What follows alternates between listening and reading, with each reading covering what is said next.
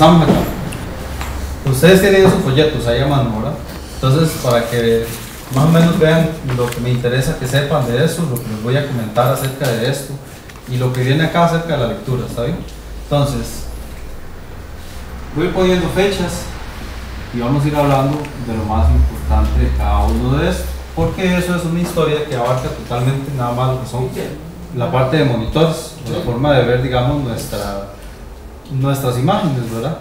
CRTs, pantallas LCDs, pantallas de plasma, ahora está la LED, pero es una eh, basada en, en, LCD, o sea, es una LCD con un backlight diferente. Eh, qué sé yo, lo que son fluorescentes visualizadores al pasivo, eh, lo que son diferentes sistemas, diferentes tecnologías, ¿verdad? Cómo se fue diseñando, dónde fueron apareciendo, ¿verdad? Entonces, voy mostrándolo acá, vamos a ir leyendo un poco ahí acerca de, de qué se trata. Dice que los paneles de plasma eh, vienen desde 1964. Estamos hablando de una época ya, estamos hablando de más de más de 40 años ya, ¿verdad? 49. tenemos, sí. De hecho, casi, casi, casi vamos para los 50 años de, de que apareció en el mercado. Dice que eran monocromáticos. Eran anaranjados, verdes o amarillos, ¿verdad?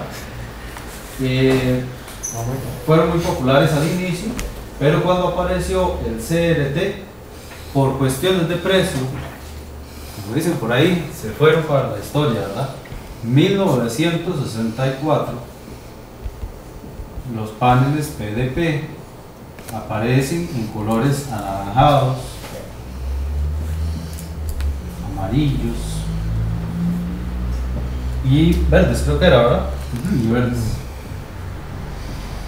Naranja, verde, amarillo. sí. pero decayeron con la invención del. ¿Ve? Ya estaban muy popularizados, ya estaban a la venta. 1973 llega IBM y crea una pantalla CRT con la fábrica Plasma de 11 pulgadas. Luego esta fábrica fue vendida a Panasonic más adelante. Pero entonces, un panel de plasma de 11 pulgadas en la fábrica Plasmaco en 1973. ¿Ven? Ya es una pantalla monocromática, blanco y negro.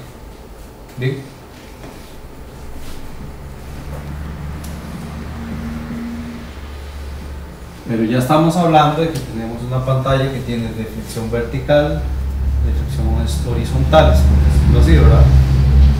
No igual que en un CRT, sino con líneas, ¿está bien? Líneas verticales, líneas horizontales.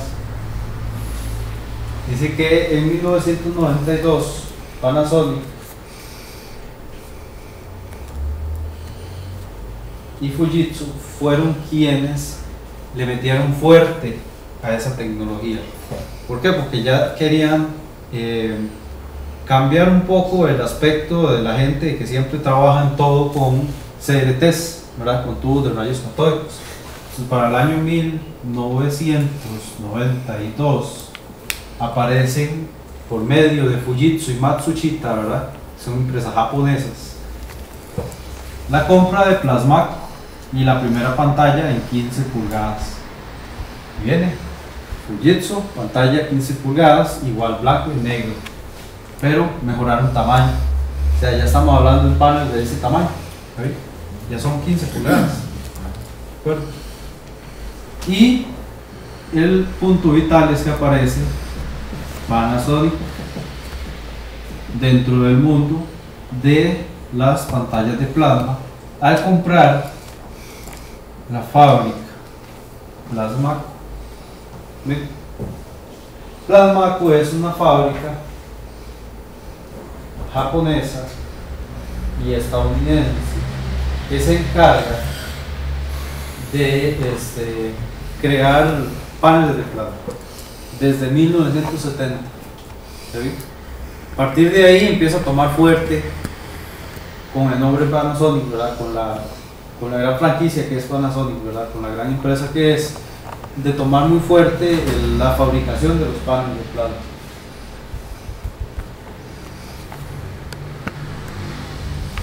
En 1997 apareció Pioneer, pero ya vendiendo un televisor plasma. El problema era el grosor de esa máquina. 1992, 1997 fue que ocurrió esto.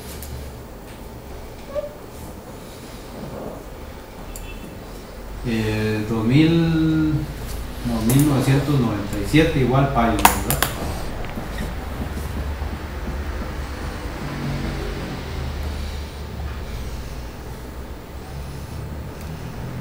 Primer TV plasma. Bien, es un brinco enorme. Ya eso es eh, una gran evolución para el caso de, de las pantallas plasma. Dicen que a partir del 2008 se ha popularizado mucho el que crezcan las pantallas de plasma en su tamaño, ¿verdad? Entonces ya no trabajamos a 15 pulgadas, sino que ya logramos llegar hasta 150 pulgadas. 1900, ya no, 2008.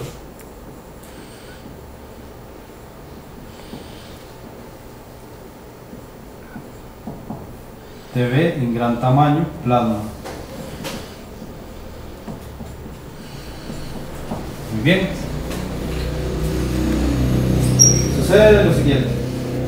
Los paneles de plasma, las pantallas plasma, no van a trabajarnos a nosotros con este, pequeños tamaños.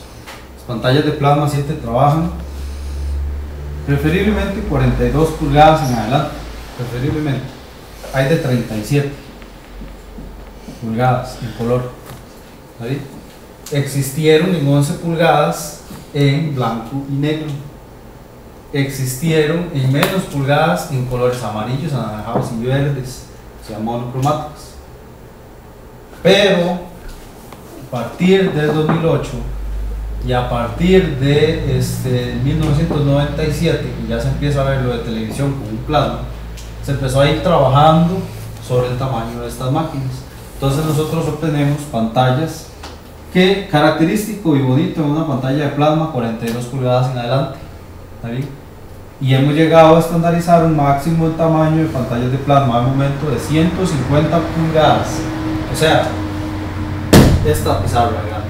Es como la, pantalla de Nueva York. No, más bien es como la pantalla de Repretel para que no se vaya tan largo.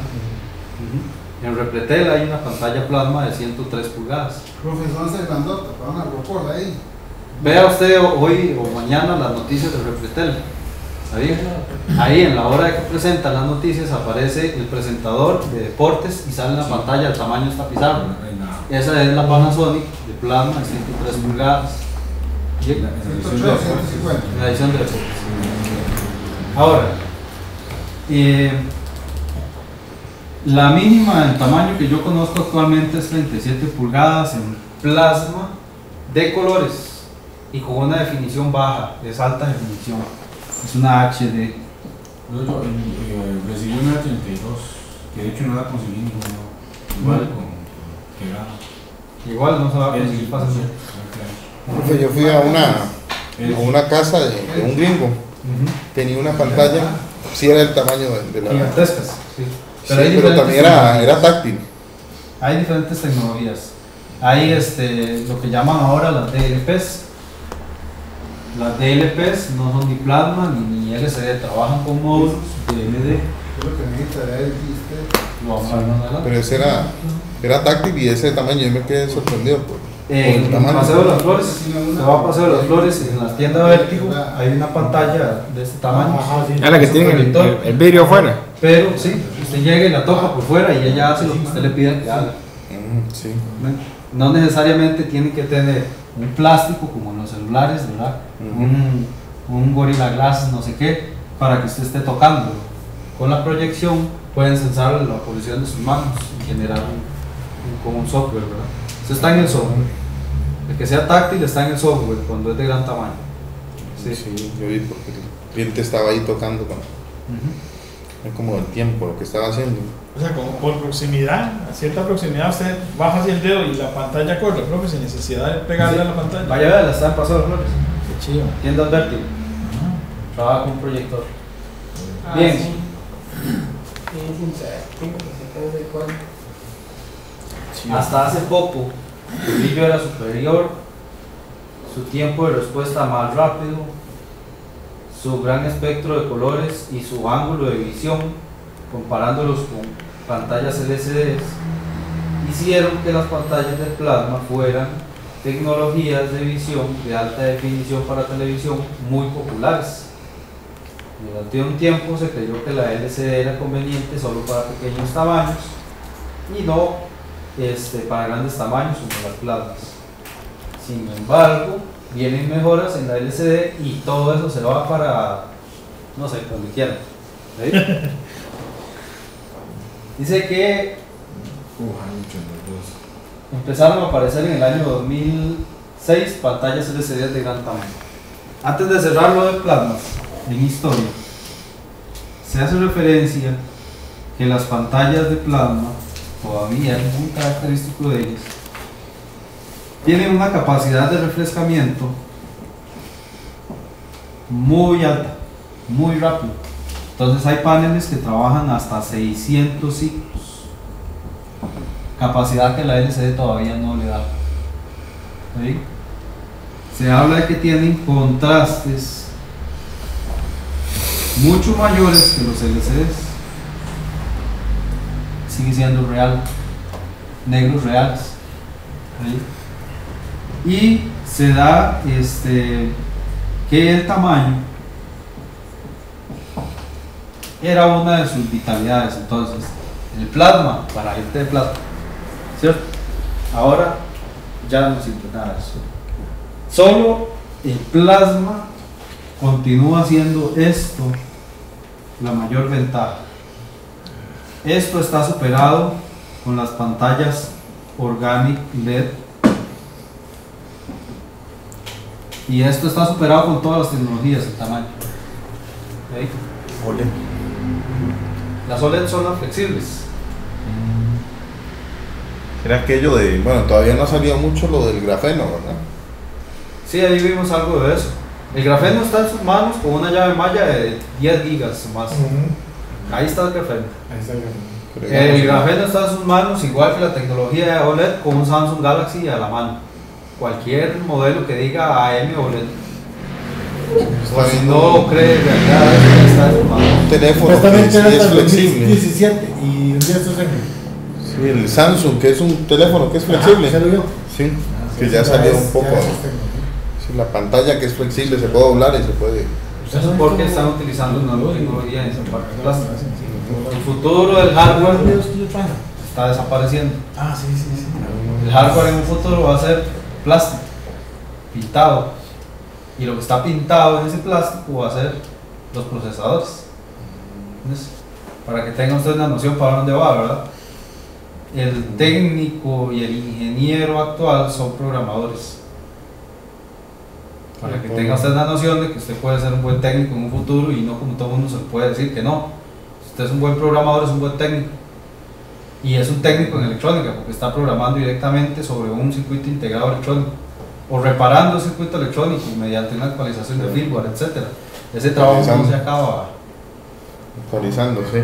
Ok, las pantallas plasma entonces tenían esas ventajas: tamaño, eh, contraste, eh, rigidez, eh, la parte de refrescamiento sigue siendo la única ventaja del PF. Historia del plasma. ¿Hay alguna duda o algo que quieren saber más del plasma en historia? No.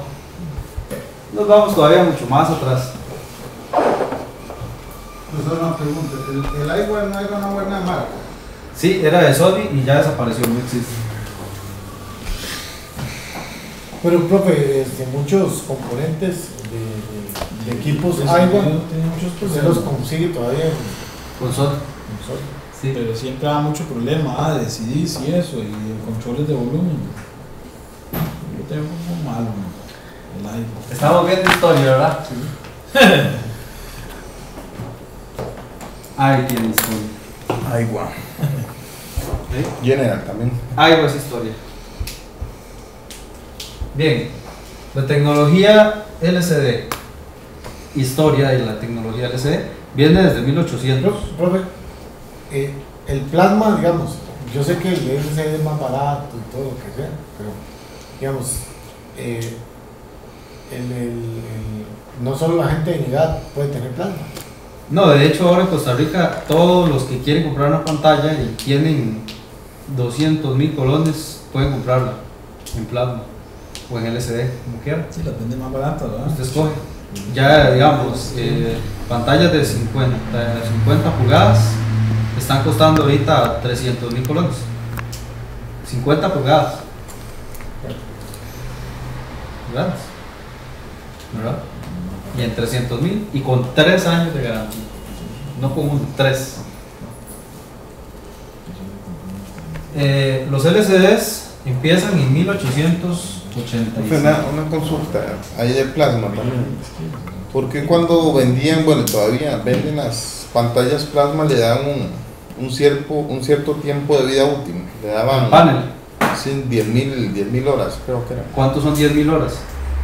¿Cuántos son en años 10.000 horas? ¿No ha calculado eso? No. Son, Que la use usted la pantalla 3 horas al día. Profe, pero yo veo mucho plasma en, en muchos talleres, ¿eh? quiere decir que no, no, están, no están funcionando muy bien como los... los ¿Cuántas LCDs ven los talleres también? Montones. Yo no es que defienda una cosa defienda la otra. Lo único que les mencioné ahora al principio es que a mí los plasmas me gustan por la electrónica que traen. A mí me gusta complicarme la vida. Los plasmas son lindos para mí. Usted es un buen técnico y es inteligente, entonces prefiere los LCDs. ¿Sí? A mí me gusta complicarme la vida. En 1887 empieza a aparecer la tecnología LCD, pero con una idea que salía de las zanahorias, aunque ustedes no lo crean, el colesterol extraído de las zanahorias, según la historia. Es decir, que se descubrió la existencia de puntos de fusión y generación de colores a partir de eso. ¿Sí? ¿Por qué? Porque ahí apareció el primer cristal pero natural. tiene algo de, de- de cierto porque el- la zanahoria es muy buena para eh, reponer ciertas características de los ojos. ¿Ah, sí? Lo que pasa es que nada que ver lo de los no, ojos.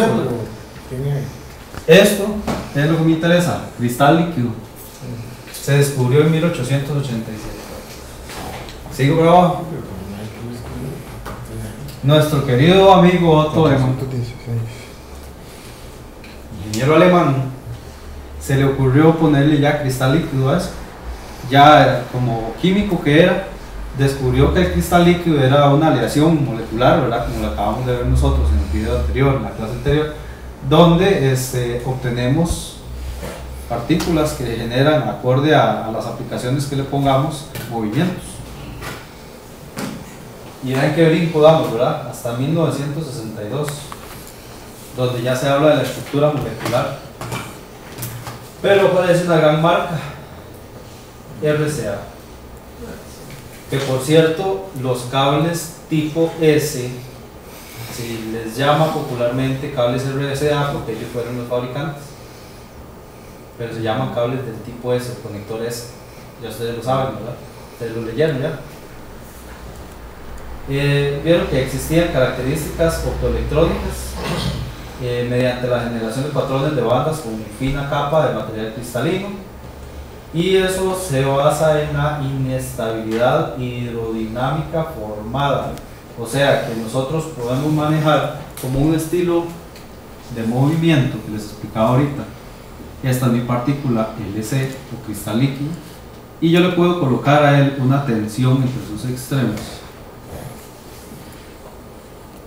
Y dependiendo de este voltaje, así le voy a hacer el movimiento. Digamos, yo puedo provocar que esta partícula se mueva así o se mueva totalmente así. Entonces yo tengo este movimiento. Estoy aquí así. Me puedo mover así, me puedo mover así. Depende de, la- del voltaje que le aplique. Entonces, ¿qué pasa si yo pongo un montón de estas partículas juntas? Vamos a poner unas cuantas acá para, para que vean cómo se ve eso.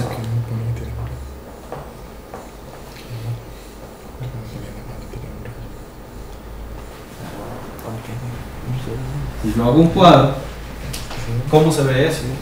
¿Verdad? ¿Lo logran ver? Ya esto es una pared. ¿Lo ven? Si yo le pongo una luz a esta pared por detrás, aquí logra pasar, digámosle que de un 100% de luz pasa a un 5%. ¿Ven? Este poquito, todo esto que voy a pintar en negro es lo que logra pasar. ¿Lo?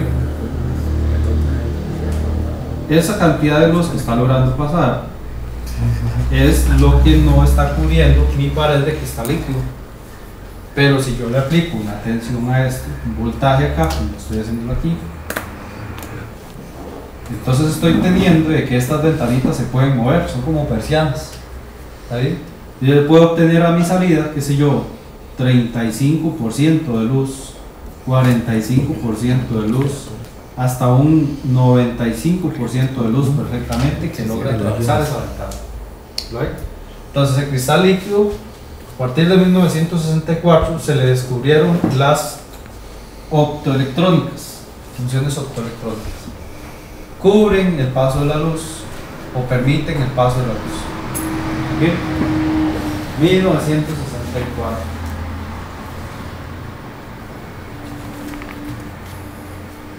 Perdón, 1962 fue lo que les acabo de mencionar. Ahora 1964 dice que igual trabajando en los laboratorios de RCA eh, se logró encontrar exactamente lo mismo, ahora ya se empezó a trabajar sobre lo mismo y este, se trabajó con algo que se llama dispersión de modo dinámico o DSM. La dispersión de modo dinámico es lo que les acabo de explicar, que aplicándole una tensión genera un movimiento en esas partículas y ellas se contraen o expanden de acuerdo al voltaje y se mueven angularmente, permitiendo más o menos el paso de luz, supongamos que de una luz trasera que yo le pongo. De ahí puede ser luz fluorescente, puede ser luz incandescente o puede ser luz LED. LED, luz incandescente o luz fluorescente. ¿Sí? Cualquiera de esas. De ahí aparece. Tengo una LCD de luz incandescente incandescente LCD. Tengo una LCD con luz fluorescente. Antes de ponerle fluorescente LCD, mejor pongo solo LCD. Y tengo una luz, eh, una LCD con luz LED. Entonces, cambiémosle el nombre LCD, pongámosle LED. Es una LCD. Entonces, le cambian el nombre, ¿vale? Pero es una LCD con backlight LED. ¿Ven? Y después, hay gente que confunde. Hay dos tipos, que lo vamos a ver más adelante. Las Triluminos de Sony trabajan con una pantalla trasera dedicada que maneja mediante matrices. O sea, enciende ciertos sectores de la parte trasera de la pantalla. Y hay otras que son como la laptop. Tengo una barrita de LED así y una capa de difusión que me pasa la luz por toda la pantalla. Entonces es solo una barra de LEDs. No hay, no hay gran diferencia, no hay problema con eso. Pero bueno, esos son varios. Sigamos con la historia. En 1970,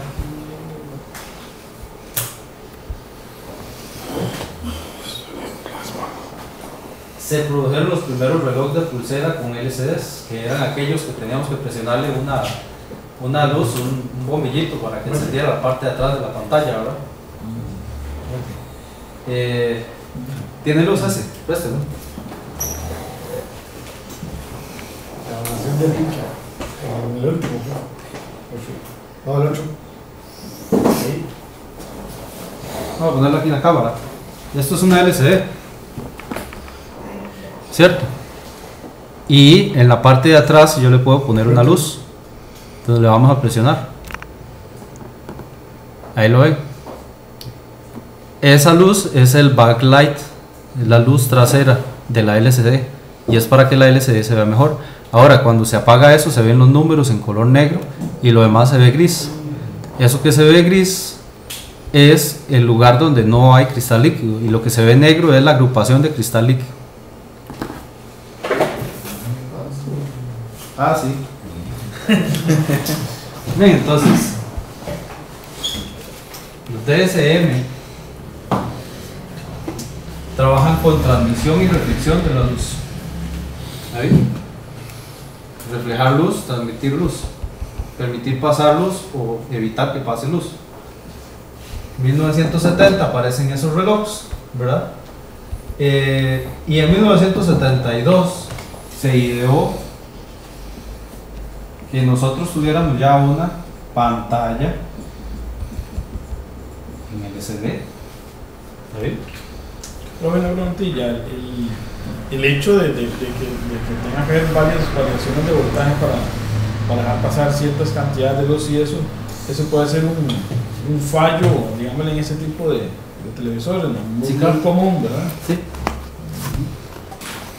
Pero habla de que en 1972 se crea algo llamado TFT. O sea, desde antes, qué sé yo, 1964, 65, una cosa así, ya habían fábricas como RCA de pantallas LCD. ¿vale? O pantallas con tecnología de cristal.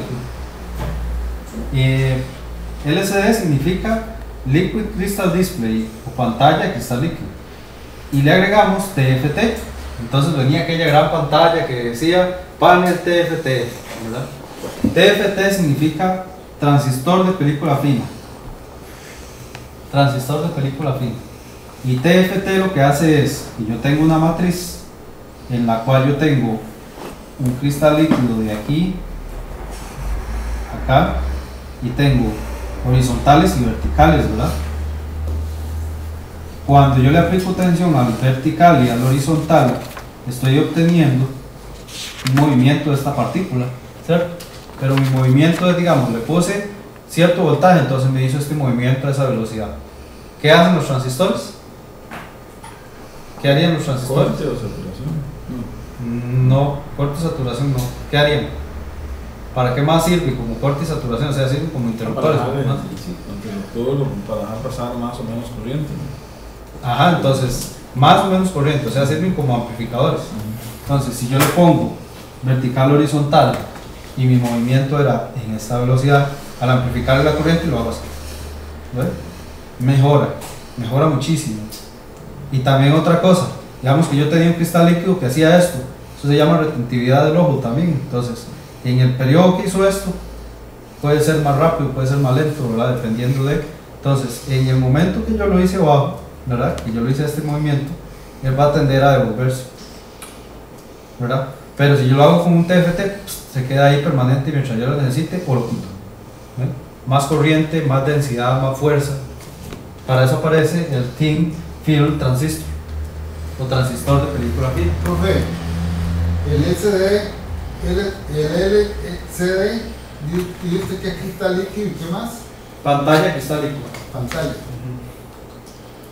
Dice que con el tiempo evolucionaron los LCDs para hacer, para cumplir ambiciones, crearon monitores, se llenaron eh, mejores resoluciones, se hicieron visualizadores. Aquí hay dos tipos, los LCDs de plano común y los de matriz pasiva. Falta otro más, Dice que los de plano común eh, son los descritos anteriormente, ¿verdad? Con esto están eh, fabricados en DSM ¿sí? o dispersión de modo dinámico, aprovechando así eh, las características de la transmisión y reflexión de la luz. Se utilizaba en calculadoras y relojes y todavía actualmente se usa. Son de plano común. De matriz pasiva son dispositivos pensados para crear imágenes con buena resolución. Por dar un ejemplo, las pantallas de definición estándar o SDs. Eh, dice que cada línea se le pasa 90 grados eh, dependiendo de los puntos de inserción y las pantallas pueden andar hasta en 65.536 píxeles, o sea, 65.000 píxeles. Estamos hablando de una resolución muy baja todavía, o sea, de definición estándar. Eh, funcionamientos multiplexados, se utiliza mucho en, en las computadoras. Dice que dejan mucho, mucha estela porque son muy lentas, ¿verdad? Son características. Nosotros vamos a ir, a a- vamos a ir viendo características conforme avanza el curso. Pero digamos, en este caso, yo tengo, digamos, un puntero, ¿cierto? Y este puntero yo lo puedo mover, lo muevo para arriba, dar un giro, pero él puede dejar una estela.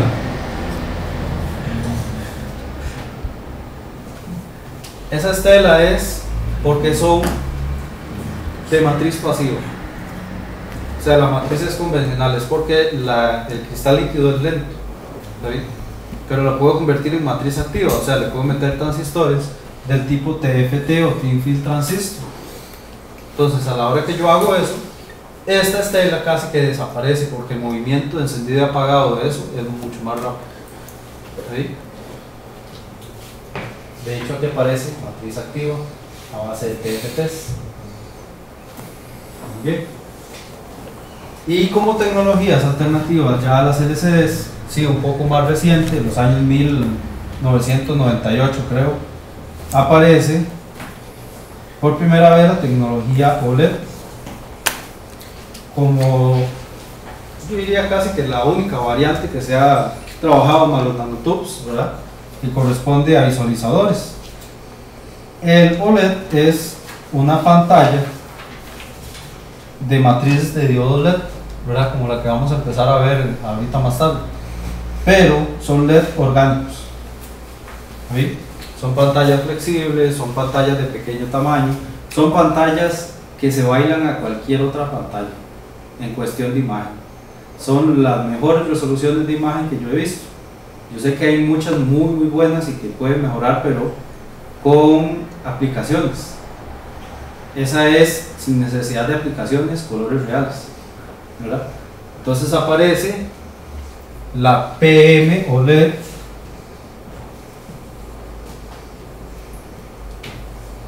Aparece la AM OLED. Que ahorita está muy popularizada ya donde? En pequeño tamaño, en los Samsung Galaxy. De ahí que todo el mundo dice, ¿de dónde sale la resolución tan linda del Samsung Galaxy? De una tecnología que apenas se está empezando a conocer a nivel de los técnicos. Ya mm, yo tuve la oportunidad hace dos años y medio, tres años, de que en la actual Sony Style me prestaran las pantallas OLED que ellos venden. Pero hace tres años hablamos de eso, teníamos un panel, por cierto hay una presentación de eso. Entonces el panel es súper delgado, ¿verdad? Es como de 3 milímetros de grosor. Más la electrónica es súper delgada también. Entonces obtenemos pantallas que tienen un grosor de 2 a 3 milímetros, máximo 5 milímetros de grosor, o sea, medio centímetro de grosor. Y con una resolución muchísimo mejor que cualquiera de estas basuras. Todas las quedan botadas a la par de eso. ¿A dónde se queda botado LED? De momento, en tamaño. Y tiene una situación muy crónica actualmente, y es que son unos contaminantes químicos que todavía no se sabe qué hacer con ellos. La OLED no se sabe aún reciclar. Entonces, por lo menos aquí en Costa Rica no se sabe cómo reciclar eso. En otros países no sé, hay que investigar un poco más. Y profe, entonces ¿dónde viene el nombre ese que es de material orgánico? ¿No sería Sí. más fácil más bien reciclarlo? Diodos, ¿verdad? es Light Emitted Diode, ¿verdad? O diodo emisor de luz o orgánico. Orgánico viene de que este es el material, es un material obtenido de la naturaleza, o sea, no es un material que yo fabriqué, es un material obtenido de la naturaleza, el OLED. Pero no es fácil de reciclar entonces. Es que, mm, porque a la hora que usted lo convierte en esta belleza AM OLED o PM OLED, ya hasta ahí llegaste. Porque ya usted creó de un material microscópico una pantalla. ¿Y qué hace con esa pantalla? Usted no sabe, porque ya le metió un montón de electrónica. Y el montón de electrónica le metió más químicos. Y ya, Profe, ¿por qué todo dura- el ser humano, todo lo echa a perder. ¿Y por qué dura tantos años, digamos, desde que se descubrió hasta ahorita al desarrollarse? Como Ajá. 15 años después. PlayStation 3 se creó hace 6 años, 5 años. Y salió hace 3 años y medio, 4 años. Se tiró eso 3 años y ya viene PlayStation 4 para diciembre. ¿verdad? Sí, ya, sí, yo vi la Ya está en Estados Unidos. No, No, todavía No, no, todavía no. Está, está todavía en presentación. Está para noviembre del 2013. Pero a lo que voy es a esto. ¿Por qué es eh, así? Porque digamos, la ingeniería que está diseñando esto está apenas combinándose, digamos. Crearon, por dar un ejemplo, una tecnología nueva, todo, toda pantalla nueva, eh, con algo nuevo, digamos, ahorita una Smart TV para hace un año costaba millón y medio, ahorita vale 400 mil, 300 mil, ¿verdad? Eh, toda tecnología nueva tiene muchas características. Una es que para poderla vender se le va a vender a millonarios, ¿verdad? Público selecto, en el cual entonces yo no le voy a vender una pantalla lindísima que apenas tiene un conector USB y tiene un HDMI, hay que meterle electrónica de calidad. Le vamos a meter cuatro HDMI de última generación con cuatro salidas de esto, lo otro, etcétera, etcétera, ¿verdad? O sea, para la gente de plata hay cosas de lujo. Entonces se le vende a la gente de plata. Se le meten las características electrónicas de calidad.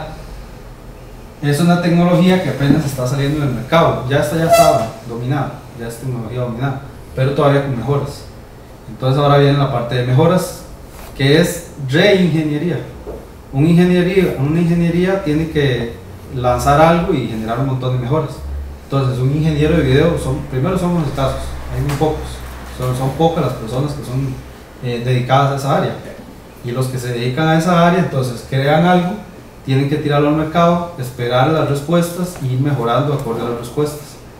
Mantener un ingeniero en video, y no uno, sino digámosle, no sé, mil, mil ingenieros de video en Japón, es un cañazo de plata.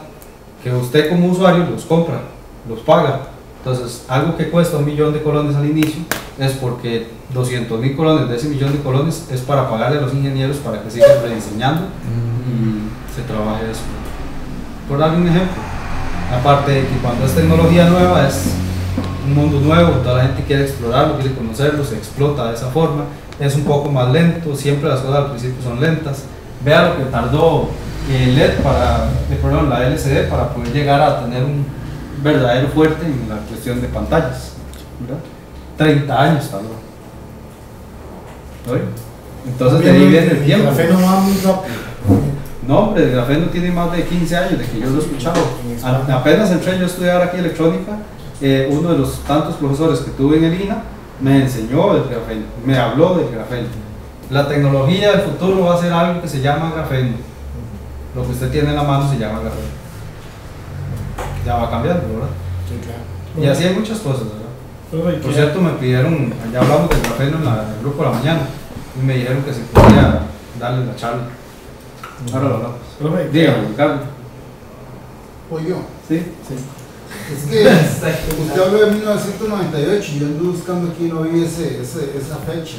Eh, ¿Qué apareció en esa fecha? No, OLED. Ya ni LED. OLED. OLED. OLED. ¿Qué pasó? ¿Qué, qué hay de, de, digámosle, porque yo he visto que muchos, muchos bombillos de lo que es la tecnología LED traen mucho disipador de, de calor, porque es porque calientan mucho. ¿Qué hay de en eso en los televisores? ¿Es lo mismo? Sí, ahí tiene que haber disipadores. Toda la electrónica que requiere de potencia tiene que disipar. Pero digámosle, eso no lo, no lo haría hacer, digámosle, como un fallo, digámosle, en, el, en, común en, los, en ese tipo de televisores. Porque ¿sí? Yo he visto que es un, un, un chunchillo así y trae, bueno, unos, un montón de aluminio para disipar el calor para un, para un bombillillo chiquitillo. Pero usted está hablando de qué, de LED, de OLED, de, qué. De, de- no, de- bueno, de, de los bombillos, no se le pregunto si es lo mismo, de los bombillos esos de LED, de ahora que venden en, en el, en, el, en, en EPA, por ejemplo. Yo he visto que traen mu- mucho aluminio para canales y de todo para disipar el calor de los bombillos esos LED. Los bombillos, en esto. en- ese tipo de, de máquinas son, si usted me está hablando de un halógeno, me está hablando de los halógenos de la calle. Necesita de mucha potencia, necesita de este, diodos LED de alta densidad, pero no tanto el LED disipa temperatura, sino la electrónica que lleva el LED, entonces disipa, necesita disipadores grandes para disipar, digamos, la corriente que va a manejar o la potencia que va a manejar un elemento electrónico que está interno. Pero es- ese televisor igual ocuparía posible, espacio, digamos. Las pantallas plasma requieren de mucha temperatura para generar muy buena luz. Necesitan un disipador del tamaño de la pantalla plana. Las pantallas LCDs no requieren disipar tanto, pero tienen circuitos integrados que requieren disipación. Las pantallas OLED prácticamente no necesitan disipación. PM OLED, Passive Matrix OLED, AM OLED, Active Matrix OLED. Esto es la mejor resolución de video que yo he visto. De, no tanto de video, de contraste. El mejor contraste que yo he visto lo tiene AM OLED, Active Matrix OLED. Sí, cuando hagamos las comparaciones, eh, vamos a traer un Samsung Galaxy que tenga AM OLED y les voy a poner el contraste real que maneja. Ellos parecen que más bien como que, como que toman un- algo que es negro y le dan fuerza para que se vea todavía más bonito. Pero es que es el OLED. El OLED, imagínense un diodo OLED que orgánicamente genera su propia luz. Eso es. Eso. Profe, y, y, y esta, y esta, y esta pantalla que sacó la Apple de un- un- una tablet de ellos, La retina. que era, que era eh, la, con, con la mayor resolución del mundo. La retina es, claro. Una cosa es resolución, otra cosa es contraste.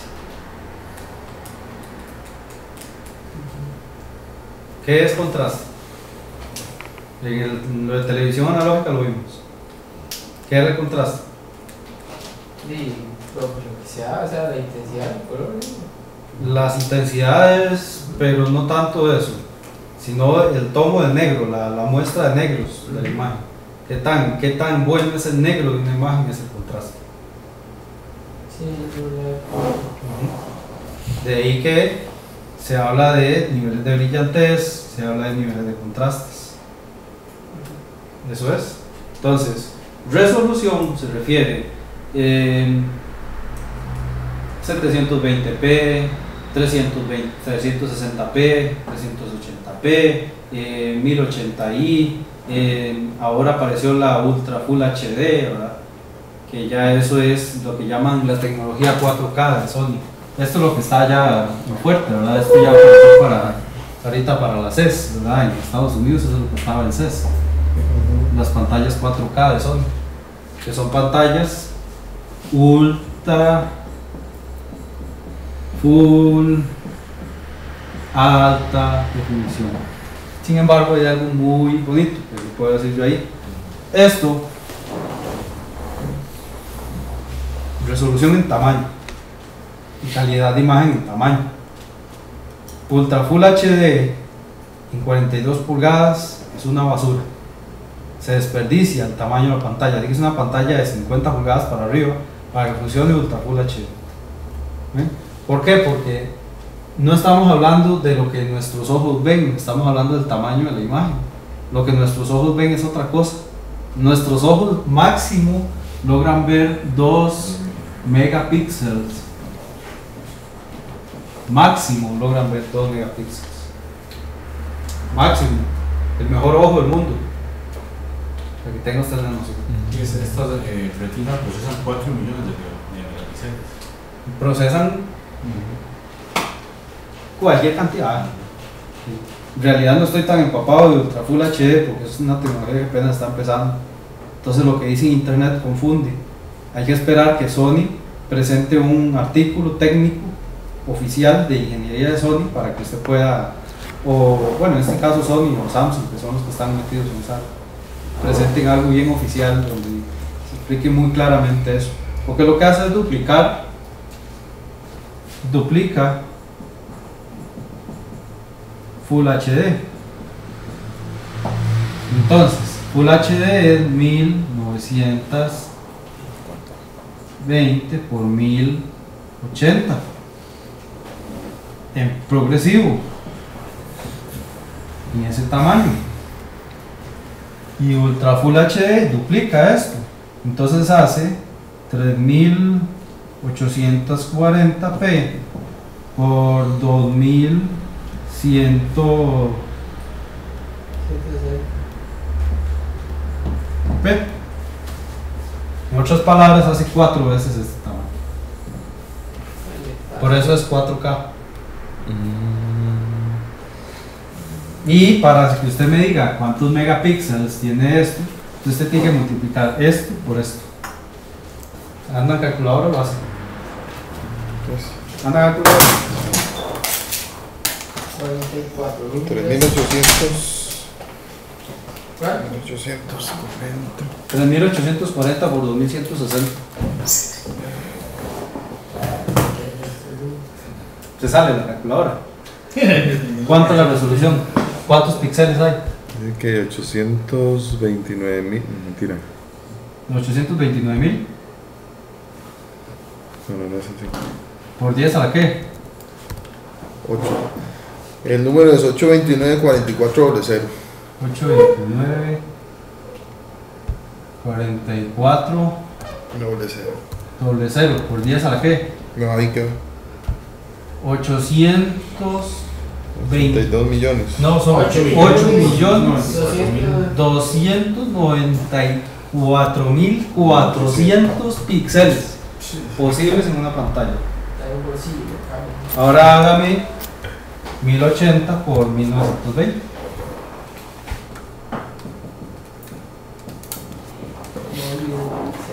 No olviden, 345 mil 600. 345.600. tanto ese, ¿Lo bien? Sí, ¿Ven la comparación? Entonces, esto es la cantidad de píxeles o de puntos en la pantalla y esto es la cantidad de píxeles o de puntos en una Ultra Full HD. Estos son Full HD. ¿No? Más adelante llevamos toda la de largo charla. se de ve, eso. ¿Mm? de largo se ve. La idea es que se haga de largo y en gran tamaño. Porque nuestros ojos, como máximo, ven 2 megapíxeles. o menos. En realidad es como 1.40 ya. De repente él tiene una, una sala de, de IMAX, algo así. Ah, sí, el desperdicio de dinero. Sí. Ajá. Sí, sí, esa vara tiene. Supuestamente lo, par- lo- ellos dicen que es una pantalla. Es que IMAX es Dolby Pro Logic con Ajá. una pantalla que es cuatro veces más grande y una pantalla de cine. Pero video profesional de cine es muy diferente a video profesional de doméstico y es muy diferente a video doméstico convencional. Las resoluciones de cine es diferente a las resoluciones de pantallas comer- comerciales. Cine es diferente, es otro país, es otro mundo. Usted vive en Costa Rica, eh, sería como vivir en la isla de Coco, por decirlo así. Cine es muy escaso el técnico, es muy escaso el, el ingeniero, es muy escaso el usuario y es un producto tan súper caro y tan súper fino que es dedicado a eso. Yo, bueno, solo conozco una persona aquí que se dedica a, la parte de los productores del cine. Todo el país. Y yo soy de Lina, o sea, yo estoy aquí de hace cinco años y hablé con otros profesores que tuve y esos fueron los que me enseñaron quién era la persona. Y ya por cierto estaba bien mayor. ¿Y? Vieras que no. ¿Qué está echando ustedes? Ven, esto, esto es la, la actualidad. 8.294.400 píxeles en una pantalla 4K de Sony. Y esa es la realidad de PlayStation 4 y la pantalla 4K de Sony. Para que llegue acá, enero, febrero del 2014, y para que lo compre la gente, febrero del 2014, para que empecemos a repararlo verlo nosotros ya como reparación, diciembre del 2014, noviembre del 2014, por ahí. Muy interesante, esto va volado. Nuestro campo en cuestiones de video va volado. En cuestiones de audio no, cuestiones de audio está quedado. Cuestiones de audio evoluciona como la ingeniería eléctrica. Evoluciona un poco, aparece algo nuevo como cada dos años, tres años. En video, como a la gente le gusta tantísimo la tecnología eh, de captura de video, eh, fotografías. Que por cierto, la fotografía en pixelaje es diferente que el video en pixelaje, para que no confundan. Este, va volado. Cada tres meses tenemos nosotros cosas súper nuevas.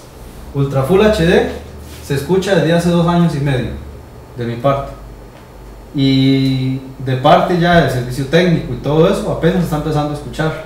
Pero es porque yo paso investigando todo el tiempo, o paso con contactos de otros países ahí que me vienen contando, etcétera. Internet habla mucho de estas cosas, pero embarca, ¿verdad? Internet le dice a usted, viene PlayStation 4 para mañana y PlayStation 4 apenas está en planes. ¿Cierto? Entonces, para que tengan presente. Eh, ¿Qué les parece lo de la historia? ¿Quieren saber algo más? ¿Estamos claros así? Ven. El- eh, el- en, la, en la parte de- de- de- del plano de, eh, se evidencia algún tipo de mejoras para esa tecnología o, o ya De mejoras. sí, de mejoras. Claro, hay muchas.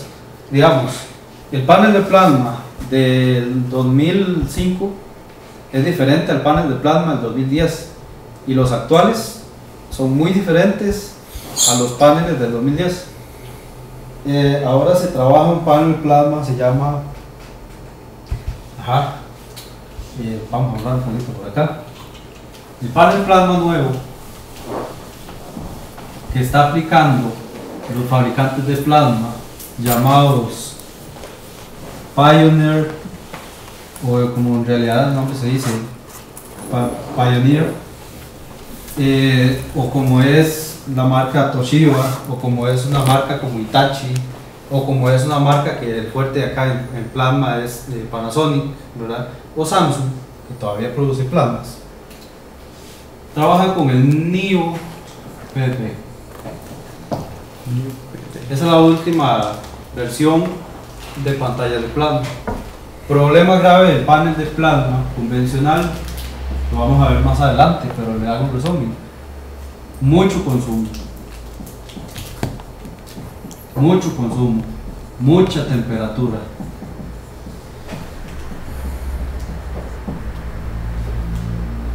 Son los problemas originales tiempo de uso y todo eso, es paja. Todo eso es cuestión de que, digamos, yo quiero como usuario venderle a usted una LCD, para mí la LCD es mejor que el plasma, que yo le tengo que vender un LCD a usted, no un plasma. Pero si yo le quiero vender un plasma, para mí es mucho mejor el plasma que un LCD. Así es eso. Y se compra de acuerdo al lugar que usted lo vaya a colocar. Si yo voy a colocar en una sala oscura, me gusta más un plasma y de un tamaño específico. Lo vamos a hacer en un foro más adelante. El New PDP, el consumo de, digámosle, 400 watts de potencia del PDP que radica en temperatura y en corriente, o sea, un amperaje alto, se convierte en 50 watts con una corriente muy baja que es exactamente comparable o muy muy parecido a su competencia de LCD. Entonces, Ah, no. Neo PDP, cuando veamos el panel de plasma, su estructura y todo lo demás, van a descubrir cuáles son las diferencias, qué fue lo que se hizo para que el PDP se convirtiera en Neo PDP y pasara de consumir 700 watts a consumir 150 watts un panel de plasma. Porque entonces el panel de plasma, el principal problema que tuvo en Europa fue que ya nadie lo quería comprar por todas las normativas ecológicas que existen en Europa, que se copian en América, ¿verdad?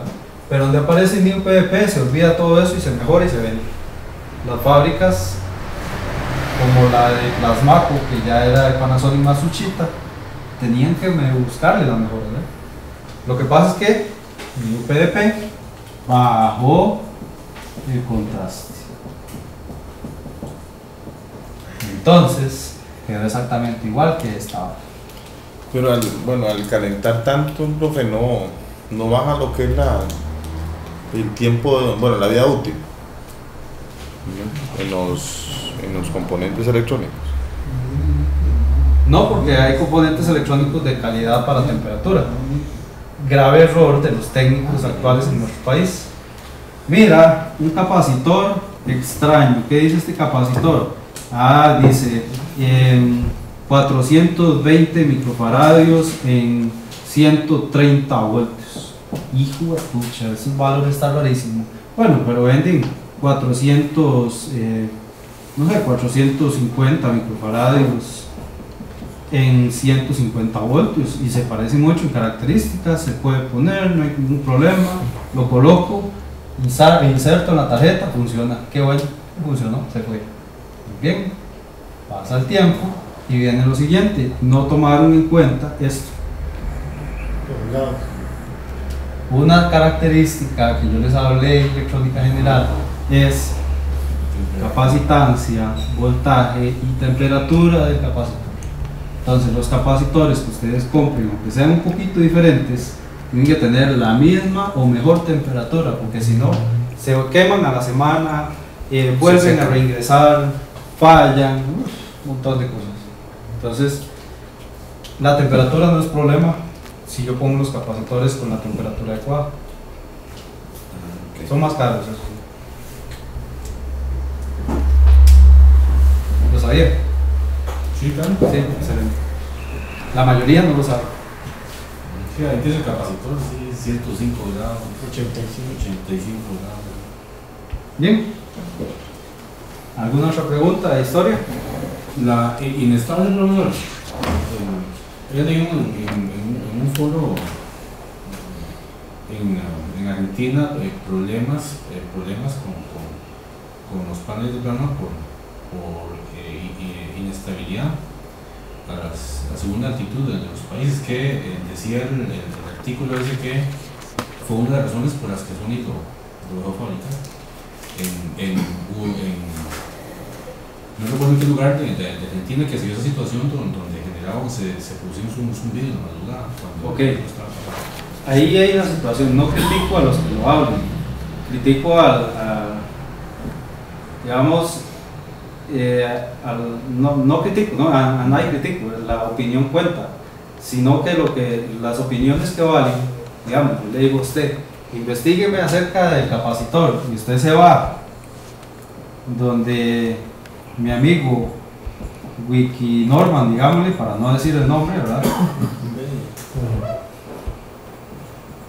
¿verdad? Entonces, en esa página web, ¿verdad? En esa, en esa página web de Wikinorman, usted va a encontrar esta y esta y esta y esta y esta opinión. Pero si usted se va a esta página, eh,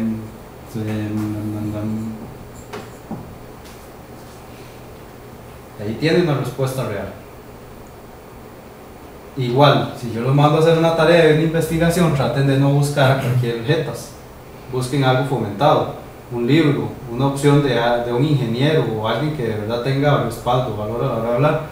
Sony dejó de fabricar plasmas porque no tiene fábrica de plasmas. Tenía que pagarle a LG para que le hicieran los paneles. Mientras que Panasonic tiene Plasmac. Pioneer tiene su fábrica de plasmas. Itachi tiene su fábrica de plasmas. ¿Cuánto vale hacer una fábrica de ese tipo de cosas? Platales, ¿verdad? Entonces Sony decidió, como ellos tienen una fábrica de LCDs, trabajar con LCDs.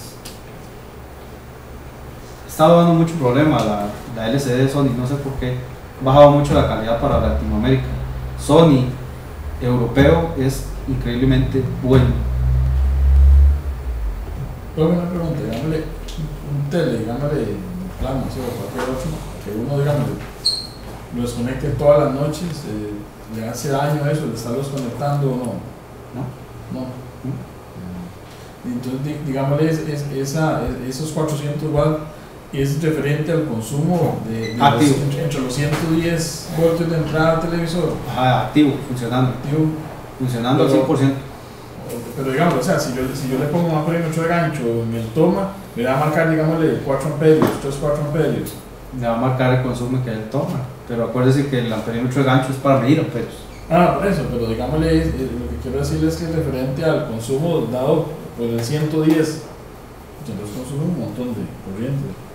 Cuatro bombillos de 100 watts conectados en un momento estable durante todo el tiempo Ah, que está encendida la la, pantalla. la luz y está todo chido. Y esa es la comparación que hace que plasma cuesta abajo. Muy poco ingeniero dice que plasma es bueno. De hecho, yo creo que ninguno. Así que lo, que lo desconecte toda la noche entonces. Pero es que acuérdese que es, si está encendido, ese es el consumo. Ah, si está apagado o no. No, si está apagado está en stand-by. ¿Cuánto consume en stand-by una pantalla? Ni Es 5 más que watts, todo lo 5, que- 10 ya. watts más. Es lo que ves encendido. Es el tiempo que está encendido. Ya. ¿Algún Profe, ¿De qué país eh, de origen es Sony? japonés? Japonés. Japón es la cuna de la electrónica. Y China es la fabricante de Japón ahora. China tiene diferentes calidades, de la A hasta la, de, como el abecedario, desde la A hasta la Z. Calidades. Calidad A de China es lo que se le vende a Japón. Y Japón trabaja con calidad A de China.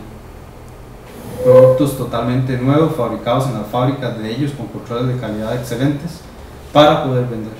Y las diferentes marcas, no solo Sony, no solo Panasonic, trabajan con diferentes producciones. ¿Qué sé yo? El modelo, esto nunca lo he dado yo en clases año, el modelo 42 PX75, digamos TH, es decir, que sea una plasma. LA es de Latinoamérica. 42 PX75E E es para Europa. 42PX75, no sé, digámosle eh, BR, es brasileño y argentino. Eh, esto, la J. ¿cierto? Entonces, este tipo de productos varían en la electrónica, varían los componentes, varían en las temperaturas, varían en la fabricación, varían en un montón de cosas, pero principalmente en la calidad. LA cero respeto. LA es lo más malito de, de las fábricas. ¿Por qué? Porque digamos, si es clase A y usted compra un producto muy bueno, está comprando clase A para Latinoamérica, no clase A para Europa, no clase A para Japón, no clase A para Estados Unidos. De ahí que un producto estadounidense, por dar un ejemplo, los automóviles, un automóvil, sé yo, no es lo mismo, como sé que tiene digamos, en Brasil, no es, no es lo mismo una producción japonesa, una producción gringa, una producción de otro lado. Varía la calidad. Eso es interesante. Sí, porque los, lo- digamos, el carro, como un ejemplo, eh, los, los, los, los repuestos buenos son los japoneses o los surcoreanos. Y a veces, como le digo, Japón también tiene mala calidad. Y también China tiene excelente calidad. Lo que pasa es que aquí antes todo lo que nos vendían decían, ah, eso es chino, ¡fum! Mala calidad. Y una vez esa es la mentalidad que nos vendieron. ¿verdad? Y todo está hecho en China ahora. De, digamos, ahora usted compra un televisor hecho en China, es una cochinada, no es otra palabra. Sí, pero uno compra ahí Sony, por detrás dice Made in China. Usted compra un Sony y por dentro y por detrás dice que es hecho en China. Por eso. Todo es hecho en China. Ahorita, el, yo no sé exactamente estadísticamente cómo anda la parte esa, pero prácticamente China es la fábrica de todo. Porque ahora sí, usted puede encontrar un televisor así que diga Sony Made in, y que diga Made in Japan. No. Sí, Sí, claro, sí los hay. sí. Y también estadounidenses y mexicanos. Y mexicano, y Mexicano, brasileño, yo y- vi Panasonic por detrás dice hecho en México. mexicanos. Pero también hay cosas hechas en México y cosas hechas en otros lugares. Aquí estaba antes la fábrica de Itachi, pero aquí estaba la fábrica de todo menos los tubos de pantalla. fabricado y ensamblado en México, pero no dice in China. Aquí dice, aquí digamos dice, los televisores de Itachi de antes decían fabricado y ensamblado en Costa Rica Costa Rica. y eran calidad, todavía hay de esos televisores. sí. Eso de Chaco Sazo no era Chac. Sasos, eh, Saso Sancho que era, tenía fabricantes aquí. Ya eso desapareció. Saso está como, Saso No, tiene tiene Sancho, sí, Sancho. Sí. Tiene todavía algo de eso. Sancho, Supermati, representa Supermati, Sancho, eh, representa también este, Yo he visto en internet Sanyo y Supermarket. Muy bien, entonces estamos con esto, ¿sí? Sí, muy interesante, bueno, vamos a comer bien.